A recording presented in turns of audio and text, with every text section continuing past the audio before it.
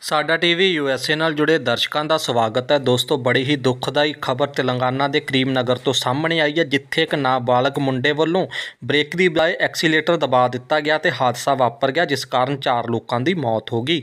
ਅੱਜ ਇੱਥੇ ਇੱਕ ਨਾਬਾਲਗ ਬੱਚੇ ਵੱਲੋਂ ਇਸ ਭਿਆਨਕ ਸੜਕ ਹਾਦਸੇ ਨੂੰ ਅੰਜਾਮ ਦਿੱਤਾ ਗਿਆ। ਸਵੇਰ ਦੇ ਕਰੀਬ 6:50 ਮਿੰਟ ਉੱਪਰ ਇਲਾਕੇ ਅੰਦਰ ਵਧੇਰੇ ਧੁੰਦ ਦੇ ਕਾਰਨ ਇਸ ਬੱਚੇ ਵੱਲੋਂ ਅੱਖਾਂ ਮਲਦੇ ਹੋਏ ਅਚਾਨਕ ਹੀ ਆਪਣੀ ਕਾਰ ਦੇ ਸਟੀਅਰਿੰਗ ਦਾ ਸੰਤੁਲਨ ਗਵਾ ਦਿੱਤਾ ਗਿਆ, ਜਿਸ ਕਾਰਨ ਇਹ ਭਿਆਨਕ ਸੜਕ ਹਾਦਸਾ ਵਾਪਰ ਗਿਆ।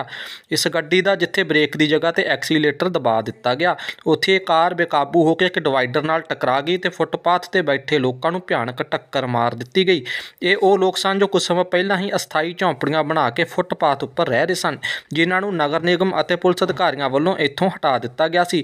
ਉੱਥੇ ਇਸ ਹਾਦਸੇ ਵਿੱਚ ਤਿੰਨ ਔਰਤਾਂ ਤੇ ਇੱਕ 14 ਸਾਲਾ ਲੜਕੀ ਦੀ ਮੌਤ ਹੋ ਗਈ। ਇਸ ਹਾਦਸੇ ਦੀ ਚਪੇਟ ਵਿੱਚ ਆਉਣ ਵਾਲੀ ਨਾਬਾਲਗ ਲੜਕੀ 9ਵੀਂ ਕਲਾਸ ਦੀ ਵਿਦਿਆਰਥਣ ਸੀ। ਇਸ ਘਟਨਾ ਤੋਂ ਬਾਅਦ ਜਿੱਥੇ ਕਾਰ ਚਾਲਕ ਨਾਬਾਲਗ ਬੱਚਾ ਉਸਦੇ ਅਤੇ ਉਸਦੇ ਦੋ ਦੋਸਤ ਘਟਨਾ ਸਥਾਨ ਤੋਂ ਫਰਾਰ ਹੋ ਗਏ। ਉੱਥੇ ਪੁਲਿਸ ਵੱਲੋਂ ਇਹਨਾਂ ਤਿੰਨਾਂ ਨਾਬਾਲਗ ਬੱਚਿਆਂ ਨੂੰ ਹਿਰਾਸਤ ਵਿੱਚ ਲਿਆ ਗਿਆ ਹੈ ਅਤੇ ਕਾਰ ਚਾਲਕ ਬੱਚੇ ਦੇ ਪਿਤਾ ਨੂੰ ਵੀ ਹਿਰਾਸਤ ਵਿੱਚ ਲੈ ਲਿਆ ਗਿਆ ਹੈ। ਉਸ ਵੱਲੋਂ ਬੱਚੇ ਨੂੰ ਕਾਰ ਚਲਾਉਣ ਦੀ ਇਜਾਜ਼ਤ ਦਿੱਤੀ ਗਈ ਸੀ। ਇਸ ਹਾਦਸੇ ਕਾਰਨ ਦੋ ਲੋਕ ਜ਼ਖਮੀ ਹਾਲਤ ਵਿੱਚ ਹਸਪਤਾਲ ਵਿੱਚ ਜੇਰੇ ਇਲਾਜ ਹਨ। ਤਾਂ ਦੋਸਤੋ, ਬੜੀ ਹੀ ਮੰਦਭਾਗੀ ਖਬਰ ਤੇਲੰਗਾਨਾ ਤੋਂ ਸਾਹਮਣੇ ਆਈ ਹੈ। ਇਸ ਤਰ੍ਹਾਂ ਦੀਆਂ ਹੋਰ ਤਾਜ਼ਾ ਜਾਣਕਾਰੀਆਂ ਲਈ ਚੈਨਲ ਨੂੰ ਸਬਸਕ੍ਰਾਈਬ ਕਰੋ, ਵੀਡੀਓ ਨੂੰ ਸ਼ੇਅਰ ਕਰਨਾ ਨਾ ਭੁੱਲੋ।